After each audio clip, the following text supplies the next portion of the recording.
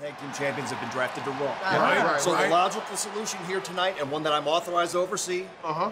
is a simple title exchange. Trade. Yes, that is that is the most logical solution. Is it? I, but I mean, Okay. Hold on, Docs. We talked about this. I know, fam. Look, treat Patricia right. And clown the Clippers each and every night for her, all right? Uh, okay, We can all make right, that happen, man. Wow. This All right, we- is blue. all right, all right, and it's The done. exchange is official. Thank you guys. Appreciate it. Oh, thank you, Yeah, thank right, you. Yes. Can you tell Big E Oh, that I yeah. miss How convenient is this?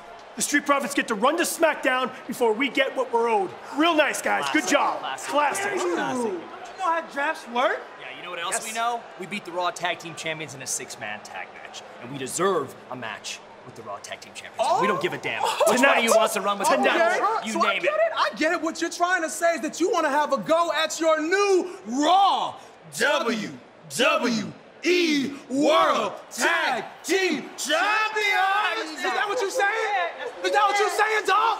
Yeah, That's what he said. that's what we said. Oh, well, if it is a molly whopping that thou wants. Then we shall place our foot betwixt thine cheeks. That's right. Get a preview. Turn around. Get a preview. Ooh.